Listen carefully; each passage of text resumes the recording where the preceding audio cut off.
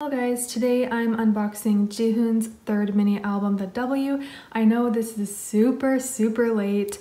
I've had many requests also to unbox this and um, I kind of said before, but I put 101 solos on a lower priority. So I wanted to eventually get them, but just uh, prioritize my collection kind of. So we finally have it now and we'll get right into it. I do have both versions, the white and the black. Let's get right into it. We'll do the white one first. And actually the version names are written in French. Let's go through this one first. Here's the front and the back. I thought that was the track list at first, but it is not. Here's the side. So, um, how do we open this?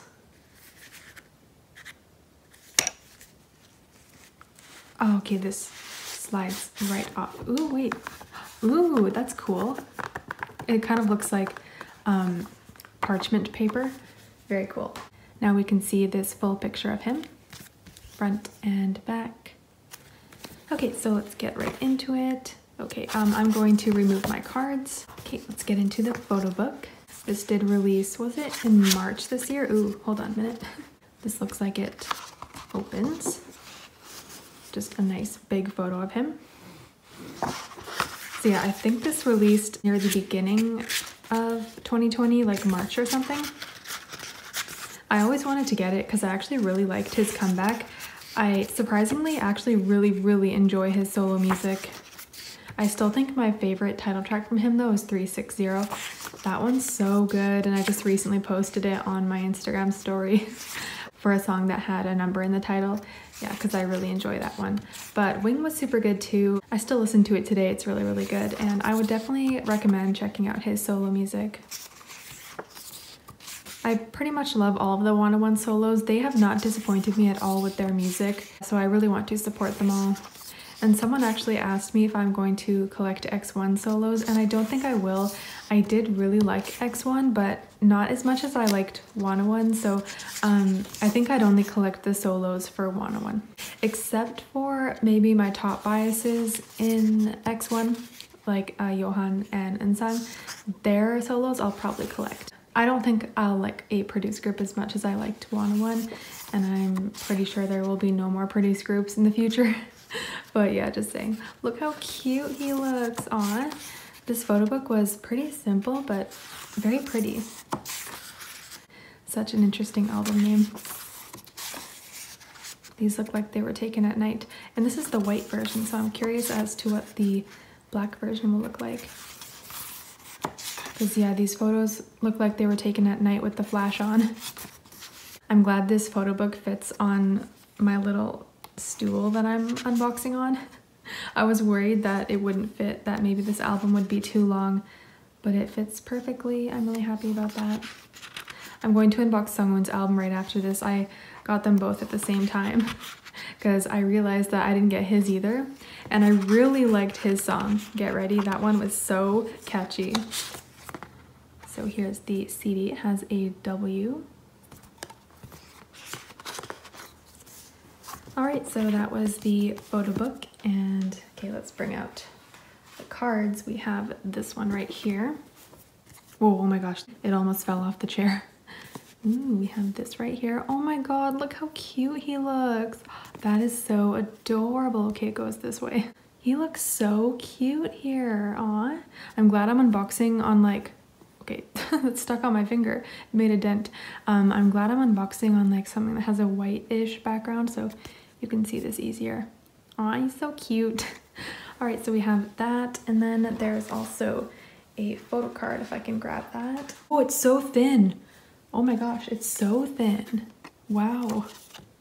Oh my god, look how cute he is, but this is so thin. It is much thinner than your average photo card. In his last album, they were like normal thickness, but this one, they're like oddly thin. Like, um, don't worry, I won't bend it. But yeah, anyways, that is a super cute card. So that was this version. And now we'll go through the black one. Here's the front and the back.